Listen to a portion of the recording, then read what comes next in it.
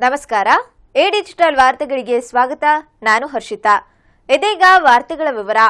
ಟ್ರಾಯ್ನ ನೂತನ ಎಂಆರ್ಪಿ ನೀತಿ ಖಂಡಿಸಿ ತುಮಕೂರಿನಲ್ಲಿ ನೂರಾರು ಕೇಬಲ್ ಆಪರೇಟರ್ಗಳು ಪ್ರತಿಭಟನೆ ನಡೆಸಿದ್ರು.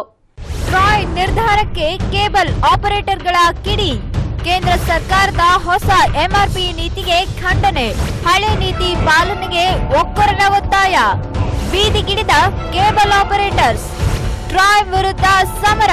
ಟ್ರಾಯ್ನ ಹೊಸ ದರ ನಿಗದಿಪಡಿಸಿರುವ ನೀತಿ ಖಂಡಿಸಿ ಜಿಲ್ಲಾ ಕೇಬಲ್ ಆಪರೇಟರ್ ಅಸೋಸಿಯೇಷನ್ ವತಿಯಿಂದ ತುಮಕೂರಿನಲ್ಲಿ ಪ್ರತಿಭಟನೆ ನಡೆಸಲಾಯಿತು. ನಗರದ ಟೌನ್ ಹಾಲ್ ವೃತ್ತದಲ್ಲಿ ಜಮಾಯಿಸಿದ ನೂರಾರು ಮಂದಿ cable operators telecom regulatory authority of India ವಿರುದ್ಧ ಘೋಷಣೆ ಕೂಗಿದ್ರು. ಏನೇ ಬರಲಿ! ಏನೇ ಬರಲಿ! ಧಿಕ್ಕಾರ! ಧಿಕ್ಕಾರ! ಧಿಕ್ಕಾರ ಧಿಕ್ಕಾರ ಧಿಕ್ಕಾರ ಧಿಕ್ಕಾರ! ಧಿಕ್ಕಾರ yeah.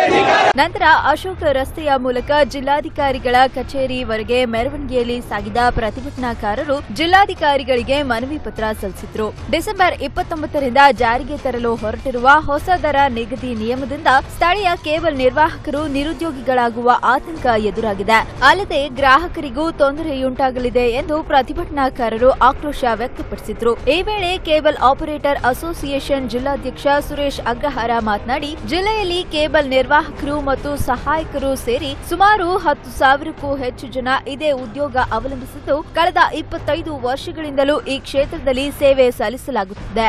ಆದರೆ ಸರ್ಕಾರ ಡಿಜಿಟಲೈಸೇಷನ್ ಮಾಡುವ ನೆಪದಲ್ಲಿ ಈಗಾಗಲೇ ಕೇಬಲ್ ನಿರ್ವಾಹಕರಿಗೆ ತೊಂದರೆ ನೀಡುತ್ತಿದೆ ಎಂದು ಆರೋಪಿಸಿದ್ರು. ಇದೇ ತಿಂಗಳ ಇಪ್ಪತ್ತೊಂಬತ್ತರಿಂದ ಪ್ರತಿ ಚಾನೆಲ್ಗೂ ದರ ನಿಗದಿ ಮಾಡಿ ಗ್ರಾಹಕರಿಗೂ ಕೇಬಲ್ ನಿರ್ವಾಹಕರಿಗೂ ಭಾರಿ ಹೊರೆ ಹೊರಿಸಲು ಹೊರಟಿದೆ. ಈ ಅವೈಜ್ಞಾನಿಕ ಪ್ರತೀಕ ಚಾನೆಲ್ ದರದಿಂದ ಚಾನೆಲ್ ಪ್ರಸಾರಕರಿಗೆ ಹಾಗೂ ಎಂಎಸ್ಒಗಳಿಗೆ ಅನುಕೂಲವಾಗಲಿದ್ದು, ಸ್ಥಳೀಯ ಕೇಬಲ್ ನಿರ್ವಾಹಕರಿಗೆ ತೀವ್ರ ತೊಂದರೆ ಆಗಲಿದೆ ಎಂದರು. ಮಾಡುವಂತ ಸ್ಥಿತಿ ಬಂದಿದೆ. ಕಾರಣ ಒಬ್ರಿಗೋಸ್ಕರ ಅಲ್ಲ ನಮ್ಮ ಎಲ್ಲ ಸಾರ್ವಜನಿಕರಿಗೋಸ್ಕರ. ಯಾಕೆಂದ್ರೆ, ಇದುವರೆಗೂ ನಮ್ಮ ಕೇಬಲ್ನಲ್ಲಿ ಕೇವಲ ಕಮ್ಮಿ ದುಡ್ಡಲ್ಲಿ, ಅಂದ್ರೆ ಇನ್ನೂರಿಂದ ಇನ್ನೂರೈವತ್ತು ರೂಪಾಯಿ ದುಡ್ಡಲ್ಲಿ ಎಲ್ಲ ಚಾನಲ್ ನೋಡ್ತಿದ್ದ ಜನ ಇವತ್ತು ಮುನ್ನೂರಿಂದ ಸಾವಿರ ರೂಪಾಯಿ ಕೊಡಬೇಕಾಗುತ್ತೆ. ಇದು ಈಗಿನ ಪರಿಸ್ಥಿತಿ. ತುಂಬ ಜನಕ್ಕೆ ಇದು ಅರ್ಥ ಆಗಿಲ್ಲ ಅನ್ಸುತ್ತೆ ಬಟ್ ಮುಂದೆ ತುಂಬ ಕಷ್ಟಪಡಬೇಕಾಗತ್ತೆ. ಹಾಗೆ ನಮ್ಮ ಆಪರೇಟರ್ಗಳು ಇಪ್ಪತ್ತೈದಿಂದ ಮೂವತ್ತು ವರ್ಷದಿಂದ ಈ ಕೆಲಸ ಮಾಡ್ಕೊಂಡು ಬರ್ತಾ ಇದ್ದಾರೆ. ಇವತ್ತು ಅವ್ರಿಗೆ ಅವ್ರ ಜೀವನ ಮಾಡೋದೇ ಕಷ್ಟ ಬಂದಿದೆ. ಆದ್ರಿಂದ ನಾವು ಇವಾಗ ಡಿ ಸಿಗೆ ಒಂದು ಮನವಿ ಕೊಡ್ತಾ ಇದ್ದೀವಿ ಈ ಹೊಸ ರೂಲ್ಸ್ ಏನಿದೆ ನಮ್ಮ ಟ್ರಾಯ್ದು ಅದನ್ನ ರದ್ದುಗೊಳಿಸಿ ಹಳೆ ರೂಲ್ಸ್ನ ಕಂಟಿನ್ಯೂ ಮಾಡಿ ಅಂತ ರಿಕ್ವೆಸ್ಟ್ ಮಾಡೋಕ್ಕೋಸ್ಕರ ಹೋಗ್ತಾ ಇದ್ದೀವಿ ನಂತರ ನಮ್ಮ ಅಡ್ವರ್ಟೈಸ್ಮೆಂಟ್ ಎಲ್ಲ ತೋರಿಸ್ತಾ ಇದ್ದಾರೆ. ನಮ್ಮ ಗ್ರಾಹಕರೇ ಕಿಂಗ್ ಅಂತ. ಖಂಡಿತ ಕಿಂಗ್ ಎಲ್ಲ ಪಿನ್ ಆಗ್ತಾ ಇದೆ ಅವ್ರಿಗೆ. ಅವ್ರಿಗೆ ಗೊತ್ತಿಲ್ಲ ಇವರು ಒಂದು ಸಾವಿರ ರೂಪಾಯಿ ರೆಡಿ ಆಗಬೇಕಾಗುತ್ತೆ ನೀವು ಚಾನಲ್ ನೋಡಬೇಕು ಅಂದರೆ. ಸೊ ದಯವಿಟ್ಟು ಗ್ರಾಹಕರು ಕೂಡ ನಮಗೆ ಸಪೋರ್ಟ್ ಮಾಡಬೇಕು ಆಪರೇಟರ್ ಸಪೋರ್ಟ್ ಮಾಡಿ. ತಾವು ಅನುಭವಿಸೋಂಥ ಸುಖ ನಮಗೂ ಅನುಭವಿಸೋಕೆ ಅವಕಾಶ ಮಾಡಿಕೊಡಿ. ತುಂಬ ಕಷ್ಟಪಟ್ಟು ಇಷ್ಟು ವರ್ಷ ಕಾಪಾಡ್ಕೊಂಡು ಬಂದಿದ್ದೀವಿ ಈ ಕೇಬಲ್ ಉದ್ಯೋಗನ. ಈಗ ಉದ್ಯೋಗ ಹೊರಟೋಗುತ್ತೆ ಅನ್ನೋ ಭಯ ಕೂಡ ನಮ್ಮಲ್ಲಿದೆ. ಆದ್ದರಿಂದ ಕೇವಲ ಯಾರೋ ನಾಲ್ಕೈದು ದೊಡ್ಡ ದೊಡ್ಡ ವ್ಯಕ್ತಿಗಳಿಗೆ ಸಪೋರ್ಟ್ ಮಾಡೋಕ್ಕೋಸ್ಕರ ಸರ್ಕಾರ ನಮ್ಮನ್ನ ಈ ಪೂರ್ತಿ ಕೇಬಲ್ ಆಪರೇಟರ್ನ ತೆಗೆಯುವಂಥ ಸ್ಥಿತಿಗೆ ನಾವು ತಂದುಬಿಟ್ಟಿದ್ದಾರೆ. ಇದರಿಂದ ದಯವಿಟ್ಟು ಕಾಪಾಡಿ ಅಂತ ನಾವು ಕೇಳ್ಕೊತಾ ಇದ್ದೀವಿ. ಗ್ರಾಹಕರು ಈಗ ನೀಡುತ್ತಿರುವ ಇನ್ನೂರರಿಂದ ಇನ್ನೂರ ಐವತ್ತು ರೂಪಾಯಿಗೆ ಸುಮಾರು ನಾನ್ನೂರಕ್ಕೂ ಹೆಚ್ಚು ಚಾನೆಲ್ಗಳನ್ನ ವಿದ್ದಾರೆ ಇದರಲ್ಲಿ ಪೇ ಚಾನೆಲ್ಗಳು ಒಳಗೊಂಡಿರುತ್ತವೆ. ಹೊಸ ದರದ ನಿಯಮದ ಪ್ರಕಾರ ಒಂದು ಸಾವಿರಕ್ಕೂ ಅಧಿಕ ಹಣವನ್ನು ಇಷ್ಟೇ ಚಾನೆಲ್ಗಳಿಗೆ ನೀಡಬೇಕಾಗುತ್ತದೆ. ಸರ್ಕಾರ ಬಂಡವಾಳ ಶಾಹಿಗಳಿಗೆ ದಾರಿ ಮಾಡಿಕೊಟ್ಟು ಕೇಬಲ್ ಉದ್ಯಮವನ್ನೇ ಮುಗಿಸುವ ಹುನ್ನಾರ ಇದಾಗಿದ್ದು, ದೇಶದ ಜನತೆಗೆ ಹೊರೆ ಹೊರಿಸಲು ಹೊರಟಿದೆ ಎಂದು ಪ್ರತಿಭಟನಾಕಾರರು ದೂರಿದರು. ಈಗ ಎರಡರಿಂದ ಮೂರು ಸಾವಿರ ಕುಟುಂಬ ಈ ಒಂದು ಎಂ ಆರ್ ಪಿ ಹೊಸ ದರ ಏನು ಮಾಡಿದೆ? ಕೇಂದ್ರ ಸರ್ಕಾರದ ಟ್ರಾಯ್ ನೀತಿಯಿಂದ ಬೀದಿಗೆ ಬರೋ ಸ್ಥಿತಿಯಾಗಿದೆ. ಇವರು ಬ್ರಾಡ್ಕಾಸ್ಟರ್ಸ್ಗೆ ಮತ್ತು ಎಂ ಎಸ್ ಒಗಳಿಗೆ ಅನುಕೂಲ ಆಗೋ ರೀತಿಯಲ್ಲಿ ಈ ಒಂದು ದರವನ್ನು ಮಾಡಿದ್ದಾರೆ. ಕೊನೆಗೆ ಯಾರೋ ಒಂದು ಐದು ಜನ ಈ ಭಾರತದಲ್ಲಿರ್ತಕ್ಕಂಥ ಉದ್ಯಮಿಗಳಿಗೆ ಅನುಕೂಲ ಆಗೋ ರೀತಿಯಲ್ಲೇ ಕೇಂದ್ರ ಸರ್ಕಾರ ಎಲ್ಲ ನೀತಿಗಳನ್ನು ಮಾಡ್ತಾ ಇದೆ. ನಾವು ಮೂವತ್ತು ವರ್ಷಗಳಿಂದ ಸತತವಾಗಿ ಜನರ ಕಷ್ಟದ ಜೊತೆಗೆ ನಾವು ಅವ್ರ ಮನೆಗಳಲ್ಲಿಲ್ಲ ಅವ್ರ ಮನೆಗಳಲ್ಲೂ ಇದ್ದೀವಿ. ಯಾಕೆಂದರೆ ನಾವು ವ್ಯಾಪಾರ ಮಾಡ್ತಾ ಇಲ್ಲ. ಖಂಡಿತ ಅವ್ರ ಜೊತೆಲಿದ್ದೀವಿ. ಈಗಿರುವಾಗ ಅವರು ಯಾವಾಗ ಕೊಟ್ಟರೆ ದುಡ್ಡುಗಳಿಸ್ಕೊಂಡು ಅಥವಾ ಅವರು ಕೆಲವರು ಎಷ್ಟು ಕೊಟ್ಟರಷ್ಟು ಇಸ್ಕೊಂಡು ಈ ರೀತಿಯೆಲ್ಲ ನಮ್ಮ ಕೇಬಲ್ ಉದ್ಯಮನ ನಡೆಸ್ಕೊಂಡು ಬರ್ತಾ ಇದ್ದೀವಿ. ಈಗ ಹೊಸ ಒಂದು ನಿಯಮದಿಂದ ಏನಾಗ್ತದೆ? ಎಲ್ಲ ಚಾನೆಲ್ಗಳ ಮೇಲೆ ಇಪ್ಪತ್ತು ರೂಪಾಯಿ, ಹದಿನೆಂಟು ರೂಪಾಯಿ, ಹದಿನೇಳು ರೂಪಾಯಿ ಈ ಥರ ಎಲ್ಲ ತೋರಿಸ್ತಾ ಇದ್ದಾರೆ. ಅದು ಪ್ಲಸ್ ಟ್ಯಾಕ್ಸ್ ಅಂತ. ಒಂದು ಮನೆಯಲ್ಲಿ ಒಂದು ಟಿ ವಿ ಕನೆಕ್ಷನ್ ನೋಡಬೇಕು ಅಂತಂದ್ರೆ free F T A channels ಅಂತ ಹೊಸದಾಗಿ ಒಂದು ಕಾನೂನು ಮಾಡಿದ್ದಾರೆ. ಫ್ರೀ ಟು ಇಯರ್ ಚಾನಲ್ಸ್ ಅಂತ. ಆ ಫ್ರೀ ಟು ಇಯರ್ ಚಾನಲ್ಸ್ಗೆ ನಾವು ಮೊದಲು ದುಡ್ಡು ತಗೋತಿರ್ಲಿಲ್ಲ. ಈಗ ಅದಕ್ಕೆ ನೂರ ಐವತ್ನಾಲ್ಕು ರೂಪಾಯಿ ವಿತ್ ಟ್ಯಾಕ್ಸ್ ತಗೋಬೇಕಾಗಿದೆ ಅಂತ ಸ್ಥಿತಿ ಮಾಡಿದೆ ಸರ್ಕಾರ ಇವತ್ತು. ಪ್ಲಸ್ ಪೇ ಚಾನಲ್ಗಳು. ನೀವು ಒಂದು ಕಲರ್ಸ್ ಕನ್ನಡ ನೋಡಬೇಕು, ಒಂದು ಜಿ ಕನ್ನಡ ನೋಡಬೇಕು, ಒಂದು ಕಲರ್ ಸೂಪರ್ ನೋಡಬೇಕು, ಬೇರೆ ಬೇರೆ ಈ ಭಾಷೆಗಳದೆಲ್ಲ ಚಾನಲ್ಗಳು ನೋಡಬೇಕು ಅಂತಂದರೆ ಹದಿನೆಂಟು ರೂಪಾಯಿ ಪ್ಲಸ್ ಟ್ಯಾಕ್ಸ್ ಇಪ್ಪತ್ತು ರೂಪಾಯಿ ಪ್ಲಸ್ ಟ್ಯಾಕ್ಸ್ ಈ ಥರ ಹೋದರೆ ಒಂದು ಇಡೀ ಒಂದು ಕೇಬಲ್ ಅಂದರೆ ಒಂದು ಮನೆಯಲ್ಲಿ ಒಂದು ಕನೆಕ್ಷನ್ ನೋಡಬೇಕು ಅಂದರೆ ಒಂದು ಸಾವಿರ ರೂಪಾಯಿಗಿಂತ ಮೇಲಾಗ್ತದೆ. ಯಾರು ಅವಾಗ ಟಿ ವಿ ನೋಡಲ್ಲ. ಬೇರೆ, ಈಗ ಅವರು ಬೇರೆ ಪರ್ಯಾಯ ವ್ಯವಸ್ಥೆ ಮಾಡ್ಕೊಳ್ಳೋದಕ್ಕೂ ಆಗಲ್ಲ ಇಡೀ ಇಂಡಿಯಾದಲ್ಲಿ ಎಲ್ರಿಗೂ ಒಂದೇ ಕಾನೂನು ಮಾಡಕ್ಕೆ ಹೊರಟಿದ್ದಾರೆ. ಈ ಕಾನೂನಿಂದ ಯಾರೋ ಒಬ್ಬರೇ ಒಬ್ಬರನ್ನು ಉದ್ಧಾರ ಮಾಡ್ಲಿಕ್ಕೆ ಹೊರಟಿದ್ದಾರೆ. ಕೇಂದ್ರ ಸರ್ಕಾರದವರು ಈ ಕಾನೂನನ್ನು ಕೈ ಬಿಡಬೇಕು ಈ ಹೊಸ ದರ ನೀತಿಯನ್ನು ಕೈ ಬಿಡಬೇಕು ಇವತ್ತು ನಾವೆಲ್ಲ ಏನು ದಂಗೆದಳ ಸ್ಥಿತಿಯಾಗಿದೆ. ಇವತ್ತು ನಾವು ಆಪರೇಟರ್ಗಳೆಲ್ಲ ಪ್ರತಿಜ್ಞೆ ಮೂಲಕ ಇವತ್ತು ಜಿಲ್ಲಾಧಿಕಾರಿಗಳಿಗೆ ಮನವಿ ಕೂಡ ಕೊಟ್ಟಿದ್ದೀವಿ. ಇದು ಉಗ್ರವಾದ ಪ್ರತಿಭಟನೆ ಇನ್ನು ಮುಂದೊಂದು ದಿನ ಆಗ್ತದೆ. ಇಡೀ ರಾಜ್ಯದಲ್ಲಿ ಆಗ್ತದೆ ಇಡೀ ದೇಶದಲ್ಲಿ ಆಗ್ತದೆ ಇದರಿಂದ ಕೇಂದ್ರ ಸರ್ಕಾರಕ್ಕೆ ಕೆಟ್ಟವಾದ, ಕೆಟ್ಟ ಮೆಸೇಜ್ ಹೋಗ್ತದೆ. ಇದರಿಂದ ಆಪರೇಟರ್ಗಳಿಂದ ಈ ಕೆಟ್ಟ ಪರಿಣಾಮ ಎದುರಿಸಬೇಕಾಗ್ತದೆ ಕೇಂದ್ರ ಸರ್ಕಾರ ಅಂತ ಈ ಮೂಲಕ ನಾವು ಆಪರೇಟರ್ಗಳು ಎಚ್ಚರಿಕೆ ಕೊಡ್ತಾ ಇದ್ದೀವಿ ಈ ಸಂದಿಗ್ಧ ಪರಿಸ್ಥಿತಿಗೆ ಕೇಬಲ್ ಆಪರೇಟರ್ಗೆ ಬಂದ್ಬಿಟ್ಟಿದೆ ಇವಾಗ. ಈ ಅವೈಜ್ಞಾನಿಕವಾಗಿ ರೇಟ್ಗಳನ್ನ ಇದು ಮಾಡಿದ್ದಾರೆ. ಇದರಿಂದ ಗ್ರಾಹಕರಿಗಾಗಲಿ, ಬ್ರಾಡ್ಕಾಸ್ಟರ್ಗಾಗಲಿ ಎಂ ಎಸ್ ಓಗಾಗಲಿ ಕೊನೆಯದಾಗಿ ಸರ್ವಿಸ್ ಕೊಡುವಂಥ ಕೇಬಲ್ ಆಪರೇಟರ್ಗಾಗಲಿ ಎಲ್ಲರಿಗೂ ತೊಂದರೆ ಆಗುತ್ತೆ. ಇದನ್ನು ಒಂದ್ಸಲಿ ಪರಿಶೀಲನೆ ಮಾಡಿ, ಮತ್ತೊಮ್ಮೆ ಅದನ್ನು ಇದು ಮಾಡಿ, ಫೀಲ್ಡ್ ವರ್ಕ್ ಮಾಡಿ ಆಮೇಲೆ ಡಿಸೈಡ್ ಮಾಡಬೇಕಂತ ನಾನು ಎಲ್ಲರನ್ನೂ ಕೇಳ್ಕೊತಾ ಇದ್ದೀನಿ. ಹೆಚ್ಚಾಗಿ ಟ್ರಾಯ್ ಅವ್ರನ್ನ, ಮೊದಲಿಂದ ಇನ್ನೊಂದ್ಸಲಿ ಕೇಳ್ತಾ ಇದ್ದೀನಿ. ಮೊದಲಿಂದ ಪೂರ್ವ ಪರಿಶೀಲನೆ ಮಾಡಿ ಎಲ್ಲರನ್ನೂ ನೋಡ್ಕೊಂಡು ಮಾಡಿ. ಇದು ಏನಾಗುತ್ತೆ ಒಂದಕ್ಕೆ ಲೆಕ್ಕಕ್ಕೆ, ಟ್ಯಾಕ್ಸ್ ಲೆಕ್ಕಕ್ಕೆ ಕಲೆಕ್ಷನ್ ಮಾಡ್ಕೊಳ್ಳೋದು ಬರೀ ಬ್ರಾಡ್ಕಾಸ್ಟನ್ನಿಗೆ ಹೋಗೋದು ಇಲ್ಲ ಕೇಬಲ್ ಆಪರೇಟರ್ ಕಡೆ ಹೋಗೋದು ಅಂತ ಹೇಳ್ತಾ ಇಲ್ಲ ನಾವು. ಗ್ರಾಹಕರಿಂದ ಹಿಡಿದು ಎಲ್ಲರಿಗೂ ಹೊರೆ ಆಗ್ಬಿಡ್ತಿದ್ದು ಎಲ್ಲರ ಉಳಿವಿನ ಪ್ರಶ್ನೆ ಆಗಿದೆ ಇದು. ಹಾಗಾಗಿ ಎಲ್ಲರನ್ನು ನೋಡಿಕೊಂಡು ಒಂದು ವ್ಯವಸ್ಥೆನ ಮುಂದಿನ ದಿನಗಳಲ್ಲಿ ದಯವಿಟ್ಟು ಇದನ್ನ ಪೂರ್ವ ಪರಿಶೀಲನೆ ಮಾಡಿ ಮಾಡಬೇಕಾಗಿ ನಾನು ಎಲ್ಲ ಕೇಬಲ್ ಆಪರೇಟರ್ ಪರವಾಗಿ ಕೇಳ್ಕೊಂತ ಇದ್ದೀನಿ. ಈ ಟ್ರಾಯ್ ಅನು ಟ್ರಾಯ್ ರೂಲ್ಸ್ ಇಂದ ನಮ್ಮ ಗ್ರಾಹಕರಿಗೆ ತುಂಬಾ ಅನಾನುಕೂಲ ಆಗ- ಅನುಕೂಲ ಆಗುತ್ತೆ ಅಂತ ಮಾಡೋ ರೂಲ್ಸ್ ಅನಾನುಕೂಲ ಆಗ್ತಾ ಇದೆ. ಇವತ್ತು ನಾವು ನೂರ ಮುಂಚೆ ಎಲ್ಲ ಇನ್ನೂರ ಐವತ್ತು ರೂಪಾಯಿಗೆ ಒಂದು ನಾನ್ನೂರು ಚಾನಲ್ ತೋರಿಸ್ತಾ ಇದ್ವಿ. ಈಗ ಏನಾಗಿದೆ ಅಂತಂದ್ರೆ, ನಾವು ಅವ್ರ ಗ್ರಾಹಕರು ಎಲ್ಲ ಚಾನಲ್ ನೋಡಬೇಕು ಅಂದ್ರೆ ಒಂದು ಆರ್ನೂರು ರೂಪಾಯಿವರೆಗೂ ಹೋಗುತ್ತೆ.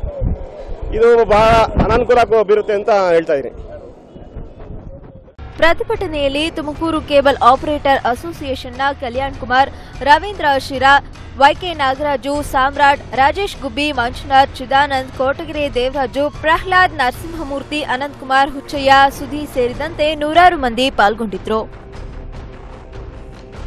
ತುಮಕೂರಿನ ಶ್ರೀ ಸಿದ್ದಗಂಗಾ ಮಹಿಳಾ ಕಾಲೇಜಿನಲ್ಲಿ ಮಾನವ ಹಕ್ಕುಗಳ ಅರಿವು ರಕ್ಷಣೆ ನೆರವು ಕಾರ್ಯಕ್ರಮ ನಡೆಯಿತು.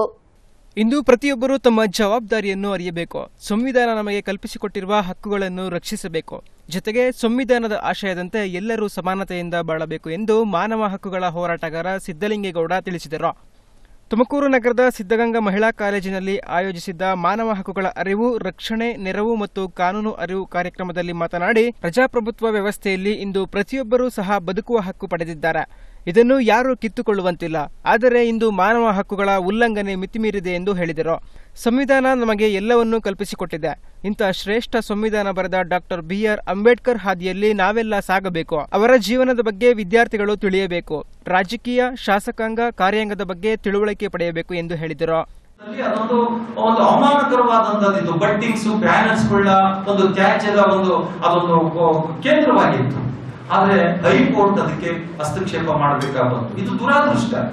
ಹೈಕೋರ್ಟ್ ಹಸ್ತಕ್ಷೇಪ ಮಾಡಬೇಕಾದಂತ ಕರ್ತವ್ಯ ಇಲ್ಲ. ಆದರೆ ವಿಧಿ ಇಲ್ಲ. No other alternative high court attend ಆಗಲೇಬೇಕಾದಂತು ಅದರಿಂದ ಸ್ನೇಹಿತ ವಿದ್ಯಾರ್ಥಿನಿಯರೇ, ನಾವೆಲ್ಲರೂ ಕೂಡ ನಮ್ಮ ಸಂವಿಧಾನ, ನಮ್ಮ ಬದುಕು, ನಮ್ಮ ಜೀವನ, ಮತ್ತೆ ನಮ್ಮ what is our rights we must know what is our rights ಅದರಿಂದ ನೀವು ನಾನು ಹೇಳೋದು ನಮ್ಮ ಪುಣ್ಯಾತ್ಮ ಬಾಬಾ ಸಾಹೇಬ್ ಅಂಬೇಡ್ಕರ್ ಅವರಂತವರು ನಮ್ಮ ಜಗತ್ತಿನಲ್ಲಿ ಮತ್ತೊಮ್ಮೆ ಅಂತ ಸಾವಿರಾರು ಜನ ಮುಂದೆ ಬರಬೇಕಾಗಿದೆ ಅಂತವರ ಆ ಸಂವಿಧಾನದ ಪುಸ್ತಕವನ್ನ ಪ್ರತಿಯೊಬ್ಬರು ಕೂಡ, ನೀವು, ನಿಮ್ಮ ಎಲ್ಲದೂ ಕರೆನ್ಸಿ ಮತ್ತೊಂದು ಮತ್ತೊಂದು ಕಾಣಿಸ್ಕೊತೀರ ಹಾಳಾಗ್ತದೆಲ್ಲ? ಅದನ್ನೆಲ್ಲ ಬಿಟ್ಬಿಡಿ. ಇವತ್ತೇ ಬಾಬಾ ಸಾಹೇಬರು ಅಂಬೇಡ್ಕರ್ ಅವರನ್ನ ಕನ್ನಡ ಮತ್ತು ಸಂಸ್ಕೃತಿ ಇಲಾಖೆಯಲ್ಲಿ ಬರೀ ಐವತ್ತು ರೂಪಾಯಿ ಒಂದೊಂದು ದೊಡ್ಡ ವಾಲ್ಯೂಮ್ಗಳು ಸಿಗ್ತವೆ. ಅಂತ ಒಂದು ಪುಸ್ತಕಗಳನ್ನ ನಿಮ್ಮ ಮನೆಯಲ್ಲಿ ತೊಗೊಂಡೋಗಿ ಇಟ್ಕೊಳ್ಳಿ. ಸಂವಿಧಾನವನ್ನ ಅರ್ಥ ಮಾಡ್ಕೊಳ್ಳಿ. ಸಂವಿಧಾನದ ಚಿಂತನೆಗಳು ಮತ್ತೆ ಪ್ರತಿಯೊಬ್ಬ ವಿದ್ಯಾರ್ಥಿ ಮತ್ತೆ ಪ್ರತಿಯೊಬ್ಬ ಪ್ರಜೆಗೆ ಇರ್ತಕ್ಕಂಥ ಮೂಲಭೂತ ಹಕ್ಕುಗಳು, ಮೂಲಭೂತ ಸೌಕರ್ಯಗಳು, ಇವೆಲ್ಲ ಸ್ವಾತಂತ್ರ್ಯ ಏನು ಸಮಾನತೆ ಏನು ಭ್ರಾತೃತ್ವತೆ ಏನು ಶಾಂತಿ ಅಂತೇನು ನ್ಯಾಯಾಧೀಶರಾದ ಬಾಬಾ ಸಾಹೇಬ್ ಜಿನರಾಳ್ಕರ್, ಪ್ರಾಂಶುಪಾಲ ತಿಪ್ಪೇಸ್ವಾಮಿ ಹಾಗೂ ಇತರರು ಉಪಸ್ಥಿತರಿದ್ದರು. ರಾಮರಾಜ್ಯದ ಪರಿಕಲ್ಪನೆಯನ್ನ ಜನರಿಗೆ ತಿಳಿಸಲು ರಾಜ್ಯಾದ್ಯಂತ ಜಾಗೃತಿ ಕಾರ್ಯಕ್ರಮ ಹಮ್ಮಿಕೊಳ್ಳಲಾಗಿದೆ ಎಂದು ತುಮಕೂರಿನಲ್ಲಿ ಸಾಮಾಜಿಕ ಅಭಿವೃದ್ಧಿ ರಂಗದ ರಂಗನಾಥ್ ತಿಳಿಸಿದ್ದಾರೆ. ದೇಶವನ್ನು ರಾಮರಾಜ್ಯ ಮಾಡುತ್ತೇವೆ ಎಂದು ಬರೀ ಬಾಯಿ ಮಾತಿನಲ್ಲಿ ಹೇಳಿದರೆ ಸಾಲದು. ಅದು ಕಾರ್ಯಗತ ಮಾಡುವ ನಿಟ್ಟಿನಲ್ಲಿ ಶ್ರಮಿಸಬೇಕು. ರಾಮರಾಜ್ಯ ಎಂದರೆ ರಾಮನ ಗುಡಿ ಕಟ್ಟುವುದಲ್ಲ. ಸರ್ವರು ಶಾಂತಿಯಿಂದ ಬಾಳುವಂತೆ ಮಾಡುವುದೇ ರಾಮರಾಜ್ಯ ಎಂದು ಸಾಮಾಜಿಕ ಅಭಿವೃದ್ಧಿ ರಂಗದ ಸಂಸ್ಥಾಪಕ ಅಧ್ಯಕ್ಷ ರಂಗನಾಥ್ ತಿಳಿಸಿದರು. ತುಮಕೂರಿನಲ್ಲಿ ಸುದ್ದಿಗೋಷ್ಠಿಯಲ್ಲಿ ಮಾತನಾಡಿ, ಆಳುವ ಪಕ್ಷಗಳು ಜನರಿಗೆ ಎಲ್ಲಾ ಸೌಲಭ್ಯ ಕಲ್ಪಿಸುತ್ತೇವೆ, ಬಡತನ ನಿವಾರಣೆ ಮಾಡುತ್ತೇವೆ, ದೇಶದ ಅಭಿವೃದ್ಧಿಗೆ ಆದ್ಯತೆ ನೀಡುತ್ತೇವೆ, ಆ ಮೂಲಕ ದೇಶವನ್ನು ರಾಮರಾಜ್ಯ ಮಾಡುತ್ತೇವೆ ಎಂದು ಹೇಳುತ್ತಲೇ ಇವೆ. ಆದರೆ ಆ ಕಾರ್ಯ ಮಾತ್ರ ಆಗುತ್ತಿಲ್ಲ. ಇದು ದೇಶದ ದೊಡ್ಡ ದುರಂತ ಎಂದು ಹೇಳಿದರು. ರಾಮರಾಜ್ಯ ಎಂದರೆ ಏನು ಎಂದು ಜನರಲ್ಲಿ ಅರಿವು ಮೂಡಿಸುವ ನಿಟ್ಟಿನಲ್ಲಿ ಸಾಮಾಜಿಕ ಅಭಿವೃದ್ಧಿ ರಂಗ ಕಾರ್ಯಪ್ರವೃತ್ತವಾಗಿದೆ. ತುಮಕೂರು ಜಿಲ್ಲೆ ಸೇರಿದಂತೆ ರಾಜ್ಯಾದ್ಯಂತ ಪ್ರವಾಸ ಮಾಡಿ ಜನರಲ್ಲಿ ಅರಿವು ಮೂಡಿಸಲಾಗುವುದು. ಸಂಪನ್ಮೂಲ ಕೊರತೆ ತಪ್ಪಿಸಬೇಕು, ಸಮಸ್ಯೆ ನಿವಾರಿಸಬೇಕು, ಸೌಲಭ್ಯ ಒದಗಿಸಬೇಕು ಎಂಬ ನಿಟ್ಟಿನಲ್ಲಿ ಜನರಲ್ಲಿ ಜಾಗೃತಿ ಮೂಡಿಸುವ ಕಾರ್ಯಕ್ರಮ ಹಮ್ಮಿಕೊಳ್ಳಲಾಗುವುದು ಎಂದರು. ರೈತರ ಆತ್ಮಹತ್ಯೆ ತಡೆ, ಸೌಲಭ್ಯಗಳ ಬಳಕೆ, ನಿರುದ್ಯೋಗ ನಿವಾರಣೆಗೆ ಕ್ರಮ, ಅಗತ್ಯ ವಸ್ತುಗಳ ಬೆಲೆ ಏರಿಕೆ ವಿರುದ್ಧ ಹೋರಾಟ ಮಾಡಲಾಗುವುದು. ಜೊತೆಗೆ ನಮ್ಮಿಂದ ಆರಿಸಿ ಹೋದ ಜನಪ್ರತಿನಿಧಿಗಳು ಏನು ಕೆಲಸ ಮಾಡುತ್ತಿದ್ದಾರೆ, ಅವರ ವೈಫಲ್ಯವೇನು, ಯಾವ ರೀತಿ ಅವರಿಂದ ಕೆಲಸ ಮಾಡಿಸಿಕೊಳ್ಳಬೇಕು ಎಂಬುದರ ಬಗ್ಗೆ ಜಾಗೃತಿ ಮೂಡಿಸಲಾಗುವುದು ಎಂದರು. ಎಲ್ಲ ವ್ಯವಸ್ಥೆಗಳಿದ್ರೂ ಸಹಿತ ನಮ್ಮ ದೇಶ ರಾಮರಾಜ್ಯ ಆಗ್ತಾ ಇಲ್ಲ. ಇದಕ್ಕೆ ಕಾರಣ ನಮ್ಮ ರಾಜಕಾರಣಿಗಳಿಂದ ಇಚ್ಛಾಶಕ್ತಿ ಇಲ್ಲ. ಆಮೇಲೆ ಸಾಮಾಜಿಕ ಕಾಳಜಿ ಇಲ್ಲ ಯಾವುದೋ ಒಂದು ಜಾತಿ ಮೇಲೆ, ಧರ್ಮದ ಮೇಲೆ, ಇಂಥ ಅನೇಕ ಒಂದು ಬೇಸ್ ಮೇಲೆ, ವಂಶ ಪರಂಪರೆಯಲ್ಲಿ ಬರೋಂಥ ಮುಖ್ಯಮಂತ್ರಿಗಳಿಂದ, ಧರ್ಮ, ದೇಶ ಅನ್ಕೊಂಡು ಬರೋಂಥ ಆ ಪ್ರಧಾನಿಗಳಿಂದ ನಮ್ಮ ದೇಶ ರಾಮರಾಜ್ಯ ಆಗಲ್ಲ. ಹಾಗಾಗಿ ನಾವೇನು ಮಾಡ್ತಿದ್ವಿ? ಗ್ರಾಮ ಮಟ್ಟದಿಂದ ಒಬ್ಬ ವ್ಯಕ್ತಿನ ನಾವು, ಅವನೊಬ್ಬ ಪ್ರಜಾಪ್ರತಿನಿಧಿ ಆಗಬೇಕು, ಒಂದು ಗ್ರಾಮ ಪಂಚಾಯತ್ ಅಧ್ಯಕ್ಷ ಆಗಬೇಕು, ತಾಲೂಕ್ ಪಂಚಾಯತ್ ಅಧ್ಯಕ್ಷ ಆಗಬೇಕು, ಒಬ್ಬ M L A, M P ಆಗಬೇಕಾದ್ರೆ ಆ ಒಂದು ಕ್ಷೇತ್ರದ ಅವ್ರಿಗೆ ಎಲ್ಲ ಒಂದು ಮಾಹಿತಿ ಗೊತ್ತಿರಬೇಕು. ಅದರಲ್ಲಿ ತಿಳುವಳಿಕೆ ಇರಬೇಕು. ಅದನ್ನು ಹೇಗೆ ಅವನು ಸರಿಪಡಿಸ್ಬೇಕು? ಆ ಸರಿಪಡಿಸ್ಕೊಂಡು ಅವನು ತಿಳ್ಕೊಂಡು ಅಧ್ಯಯನ ಮಾಡ್ತಾ ಅವನು ರಾಜ ಜನನಾಯಕನಾಗಿ ಜನಸೇವೆ ಮಾಡಿಕೊಂಡು ಅವನು ಪ್ರಜಾಪ್ರತಿನಿಧಿ ಆಗಬೇಕು ಅನ್ನೋದು ನಮ್ಮ ಸಂಘಟನೆ ಉದ್ದೇಶ ಆಗಿದೆ. ಇದಕ್ಕೆ ಈಗ ಏನೇನಾಗ್ತದೆ ಅಂದರೆ ಇವತ್ತು ನಮ್ಮ ದೇಶದಲ್ಲಿ ಭಾಳ ಅತ್ಯಮೂಲ್ಯವಾದ ಸಮಯ. ಅಂದರೆ ಎಷ್ಟು ಕೋಟಿ ಕೊಟ್ಟರು ಸಿಗದಂಥ ಒಂದು ಸಮಯ ಹಾಳಾಗ್ತಾ ಇದೆ. ಒಂದು ಟ್ರಾಫಿಕ್ಕಲ್ಲಿ ಒಂದು ಬೆಂಗಳೂರಲ್ಲಿ ಒಂದು ದಿನ, ಒಂದು ಕಡೆಯಿಂದ ಇನ್ನೊಂದು ಕಡೆ ಒಂದು ದಿನ ಸಮಯ ಹಾಳಾಗುತ್ತೆ. ಎಷ್ಟು ಕೋಟಿ ಕೊಟ್ಟರು ಆ ಸಮಯ ಸಿಗಲ್ಲ. ಆ ಸಮಯ ಆ ಸದ್ಬಳಕೆ ಮತ್ತು ಆ ಸಮಯ ಉಳಿಕೆಗೆ ನಮ್ಮದು ಪ್ರಥಮ ಕಾರ್ಯಕ್ರಮ ಇದೆ ಆ ನಂತರ ಎರಡನೇದು ರೈತರ ಆತ್ಮಹತ್ಯೆ ಹೇಗೆ ತಡಿಬೇಕು? ಅದ್ರ ಬಗ್ಗೆ ಸಾಕಷ್ಟು ಅಧ್ಯಯನ ಮಾಡಿದ್ವಿ. ಚಿತ್ರದುರ್ಗ ಜಿಲ್ಲೆಯಲ್ಲಿ ನಾನು ಪ್ರೆಸ್ ಮೀಟ್ ಮಾಡಿದ್ದೀನಿ. ಅಲ್ಲಿ ರೈತರಿಗೆ ಈಗ ಸಾ ಎಲ್ಲರಿಗೂ ಸಾಲ ಮಾಜಿ ಸಂಸದ ಡಾಕ್ಟರ್ ವೆಂಕಟೇಶ್ ಮಾತನಾಡಿ, ಇಂದು ಜಾತೀಯತೆ ವಿಜೃಂಭಿಸುತ್ತಿದೆ. ಇದು ಪ್ರಜಾಪ್ರಭುತ್ವದ ದೊಡ್ಡ ಸೋಂಕಾಗಿದೆ. ಇದರೊಟ್ಟಿಗೆ ಅನುವಂಶಿಕತೆಯ ಎಲ್ಲೆ ಮೀರಿದೆ. ಎಲ್ಲ ರಂಗದಲ್ಲೂ ಇದು ಕಂಡುಬರುತ್ತಿದೆ. ಇನ್ನು ಹಣ ಬಲವೇ ಎಲ್ಲ ಎಂಬಂತಾಗಿದೆ. ಇಲ್ಲಿ ವ್ಯಾಪಾರೀಕರಣ ಮಿತಿ ಮೀರಿದೆ. ಇವೆಲ್ಲದಕ್ಕೂ ಕಡಿವಾಣ ಹಾಕುವ ನಿಟ್ಟಿನಲ್ಲಿ ಜನರಲ್ಲಿ ಅರಿವು ಮೂಡಿಸುವ ಕಾರ್ಯಕ್ರಮ ರೂಪಿಸಲಾಗುತ್ತಿದೆ ಎಂದರು.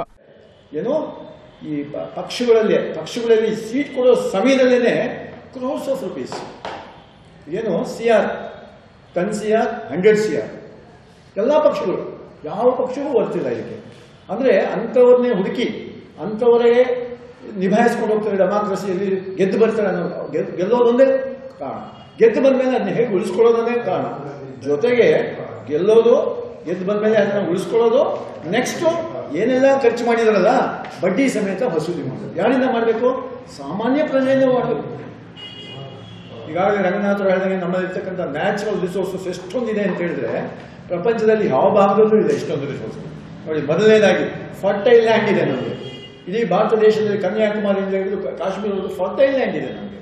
ನದಿಗಳು ತುಂಬಿ ಹರಿತಿದ್ದಾವೆ. ಬೇಸಿಗೆಯಲ್ಲಿ ಹರಿತಿದ್ದಾವೆ, ಮಳೆಗಾಲದಲ್ಲಿ ಹರಿತಿದೆ, ಹಿಮಾಲಯ ನಮಗೆ ಎಷ್ಟು ಸಿಕ್ಕಿದೆ ನಮಗೆ ನೀರು ಹರಿಲಿಕ್ಕೆ. ಫರ್ಟೈಲ್ ಲ್ಯಾಂಡ್ ಇದೆ, ವಾಟರ್ ಇದೆ. ಜೊತೆಗೆ ಬಹಳ ಇಂಪಾರ್ಟೆಂಟ್ ಇವತ್ತು ದೇಶದಲ್ಲಿ ನಮಗೆ ಏನಾಗಿತ್ತು ಅಂದರೆ ಇಷ್ಟು ದಿವಸ ಜನಸಂಖ್ಯೆಯಿಂದ ಹಿಂಗಾಯಿತು ಜನಸಂಖ್ಯೆಯಿಂದ ಹಿಂಗಾಯಿತು ಅಂತ ಅನ್ಕೊಳ್ತಾ ಇದ್ವಿ. ಆದರೆ ಇವತ್ತಿನ ದಿವಸ ಪ್ರಪಂಚದಲ್ಲಿ ಜನಸಂಖ್ಯೆಯಿಂದ ಎಷ್ಟು ಬೆನಿಫಿಟ್ ಆಗ್ತಿದೆ ಅಂದ್ರೆ ಇವತ್ತು ಅಮೆರಿಕ.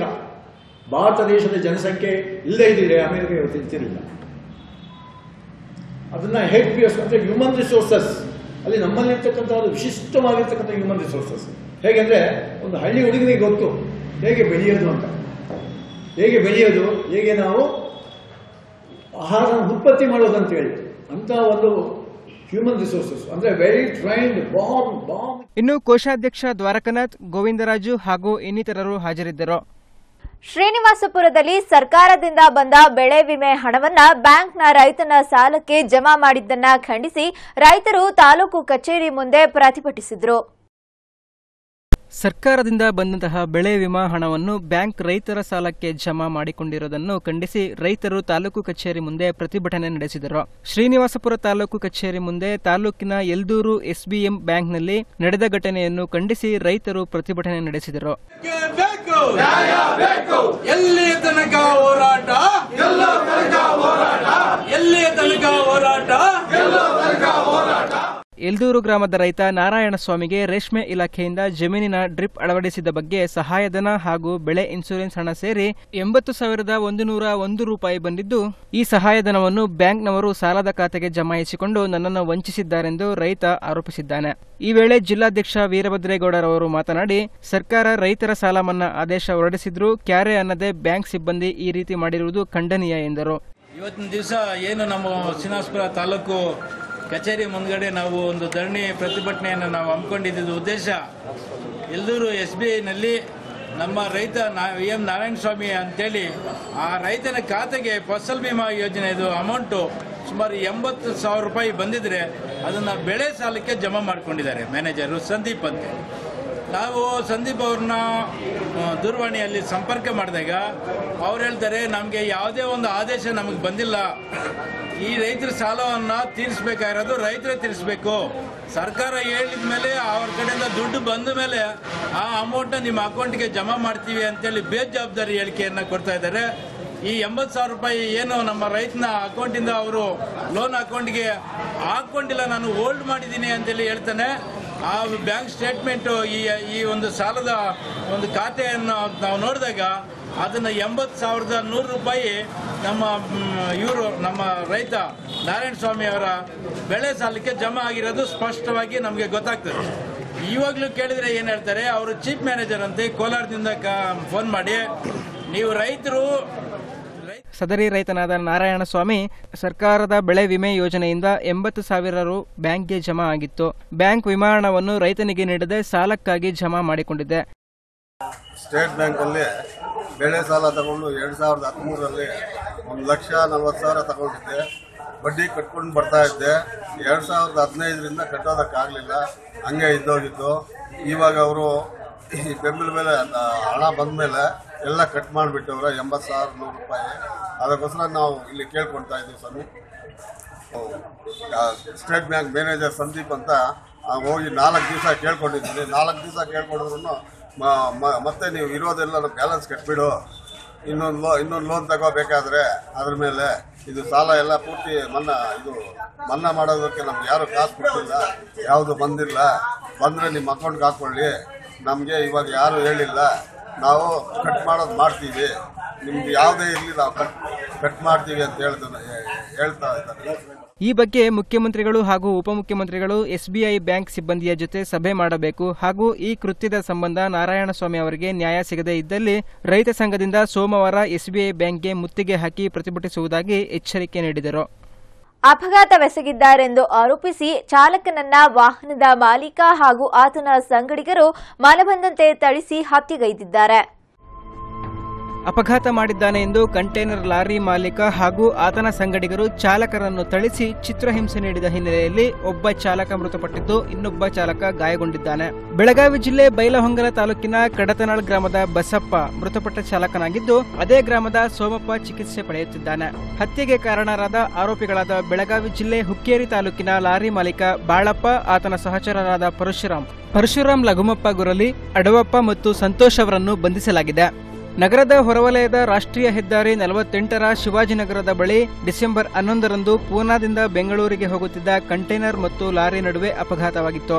ಅಪಘಾತದ ಬಗ್ಗೆ ಕಂಟೈನರ್ ಮಾಲೀಕ ಬಾಳಪ್ಪ ಅವರಿಗೆ ಚಾಲಕರಾದ ಬಸಪ್ಪ ಮತ್ತು ಸೋಮಪ್ಪ ಕರೆ ಮಾಡಿ ಮಾಹಿತಿ ನೀಡಿದ್ದರು.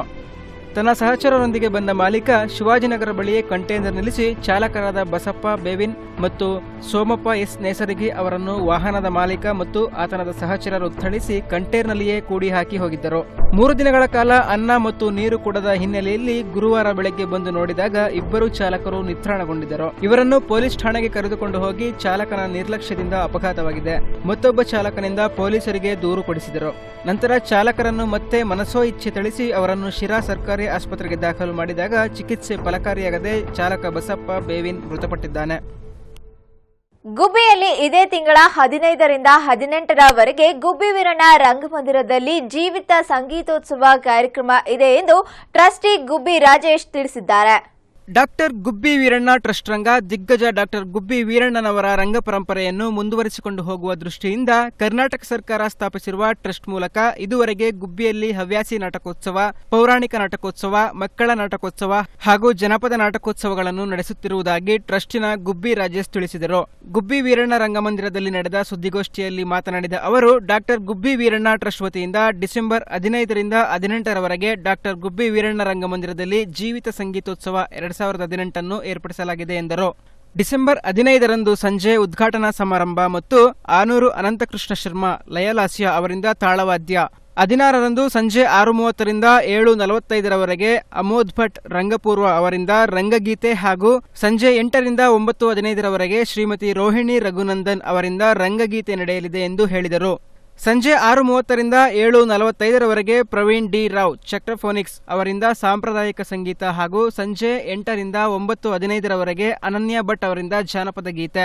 ಹದಿನೆಂಟರಂದು ಸಂಜೆ ಆರು ಮೂವತ್ತರಿಂದ ಕರ್ನಾಟಕ ಸುಗಮ ಸಂಗೀತ ಪರಿಷತ್ತು ಅವರಿಂದ ಸುಗಮ ಸಂಗೀತ ಹಾಗೂ ಸಮಾರೋಪ ಸಮಾರಂಭವನ್ನು ಆಯೋಜಿಸಲಾಗಿದೆ ಎಂದರು. ಕಲಾಭಿಮಾನಿಗಳು ಹೆಚ್ಚಿನ ಸಂಖ್ಯೆಯಲ್ಲಿ ಆಗಮಿಸಿ ನಾಟಕೋತ್ಸವವನ್ನು ಯಶಸ್ವಿಗೊಳಿಸುವಂತೆ ತಿಳಿಸಿದರು. ಇದೇ ಸಂದರ್ಭದಲ್ಲಿ ಕಾಡಶೆಟ್ಟಿಹಳ್ಳಿ ಸತೀಶ್ ಪಾಲ್ಗೊಂಡಿದ್ದರು.